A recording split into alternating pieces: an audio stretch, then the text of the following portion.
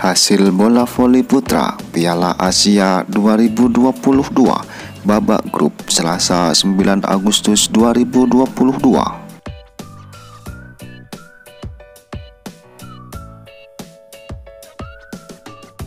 Partai pertama antara Jepang melawan Australia dimenangkan Jepang dengan skor 3-0. Set pertama 27-25, set kedua 25-15, set ketiga 25-14.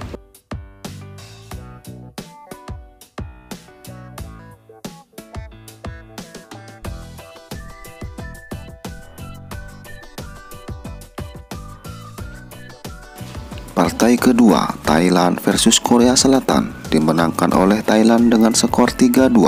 Set pertama 17-25, set kedua 23-25, set ketiga 25-19, set keempat 25-23, set kelima 15-12.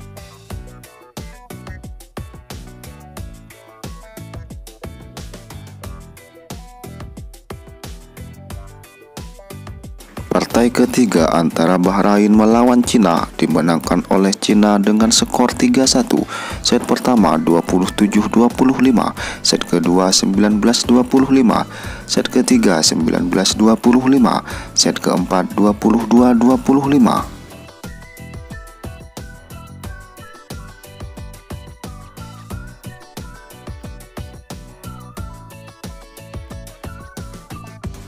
Klasemen akhir grup A, Thailand dan Korea Selatan lolos ke babak perempat final. Klasemen akhir grup B, Iran dan Pakistan lolos ke babak perempat final.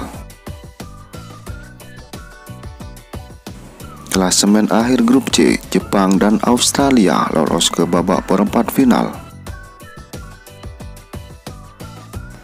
Klasemen akhir grup D, Cina dan Bahrain lolos ke babak perempat final.